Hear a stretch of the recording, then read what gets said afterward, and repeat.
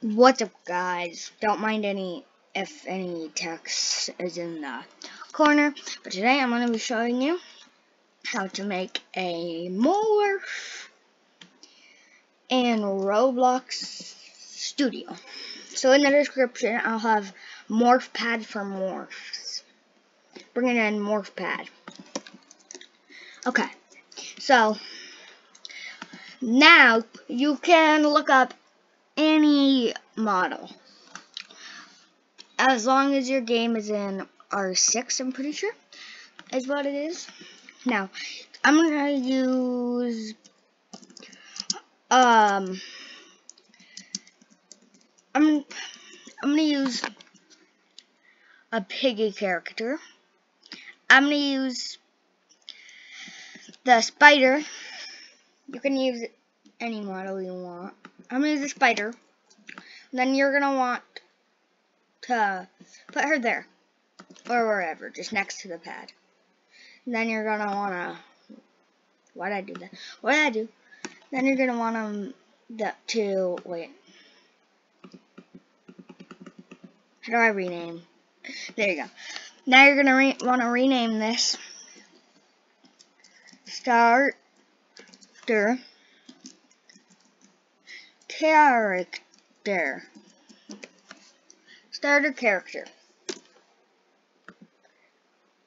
Wait. Rain it. Wait, wait, wait, wait, wait.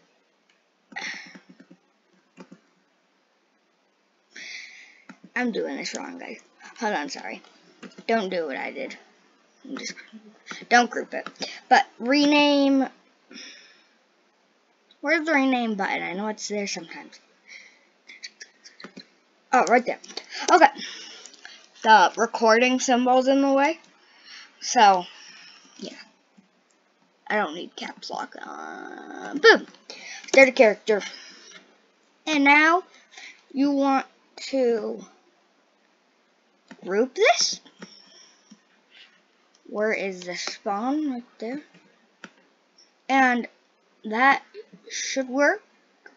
You don't want to name the model anything. Got mainframe, got the web. Yep. Okay, let's test if that works. Because I don't think I'm forgetting anything. Loading up. Okay. Here's the base plate. Tap this, and boom. You can, there's your character. That is super easy. Have fun making morphs.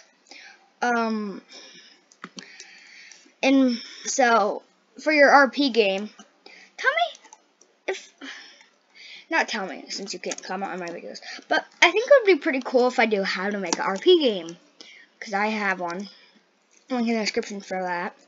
But yeah, the morph pad will be linked in the description. If you want this, if you want other morphs that I already created, link in the description. And hope you enjoyed this video. Bye! Trying to end music, but bye!